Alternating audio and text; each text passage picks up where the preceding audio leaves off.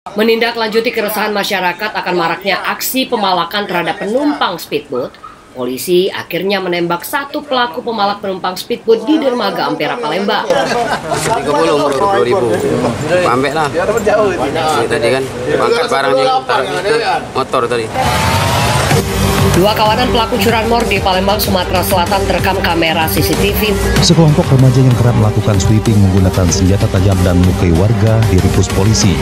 Dari tangan pelaku, petugas menyita senjata tajam jenis celurit. Aksi premanisme yang dilakukan beberapa oknum debt collector semakin meresahkan masyarakat Palembang akhir-akhir ini.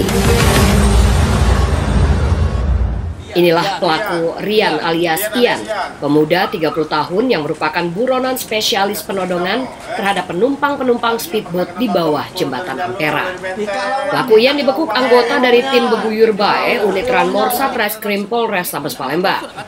Residivis yang tinggal di Jalan Fakih Usman, Kelurahan Dua Ulu Palembang itu terpaksa harus dilumpuhkan dengan timah panas di betis kakinya lantaran melawan saat akan ditangkap. 2000 Pambek lah Ini tadi kan Angkat barang di taruh itu motor tadi Satunya kan Dikepuk diancam eh Tabok dulu. Oh, bukan. Minta Iya tabuk dulu sekali Berapa kali kau tabok tadi? Jujur, Pak. Sekali pak Sekali Raih sekali, pundak sekali. Iya Sekali kau ancam eh Yang bohong kau. Kau ancam tadi kan Kau pisau kan tadi kan? Tidak. Kau ancam lah kau tuja aja Aman kan Nanti Hei Ya? Ian mengaku sudah beberapa kali melakukan penodongan terhadap penumpang speedboat di bawah jembatan Ampera. Kasat Reskrim Polres Sabes Palembang Kompol Triwayudi membenarkan adanya penangkapan ini. Pelaku dikenakan pasal 365 KUHP dengan ancaman di atas 5 tahun penjara. Dari Palembang, Sumatera Selatan, reporter Jane, kameramen M. Febrian, PBTV mengabarkan.